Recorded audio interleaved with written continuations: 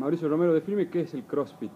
Bueno, CrossFit son movimientos funcionales, constantemente variados, alta intensidad, movimientos funcionales, eh, lo que hace uno en la vida diaria, en sentarse, en pararse, en una silla o en algún escritorio, eh, en levantar algo, dejar algo arriba, en agacharse, constantemente variado que en el pizarrón, en el box, ¿sí? Eh, va a estar constantemente variado su actividad, lo que es el core, lo que es el trabajo de fuerza, o skill, la técnica de algún ejercicio y el trabajo duro, que es el WOT, ¿sí? siempre está, es diferente y alta intensidad depende del atleta, depende de la persona, ¿sí? la constancia que tenga o si nunca hizo alguna actividad física, siempre se trata de buscar algún trabajo que sea de menos intensidad y tratando de que el atleta eh, ¿sí? lo haga con menos intensidad y con menos peso.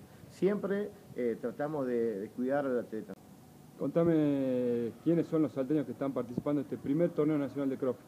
Eh, está este, Florencia Casasola, Álvaro Casasola, este, Lucas y Pietro y Daniela Rodríguez son, van a representar a Burpee CrossFit ¿sí? en el primer torneo Buffit, denominado Buffit, que es en la ciudad de Buenos Aires y va a haber más de 30 box de todo el país eh, en el torneo nacional, el primer torneo nacional. ¿Y en qué consiste el torneo? Eh, ¿Cuál es la, la disputa del mismo?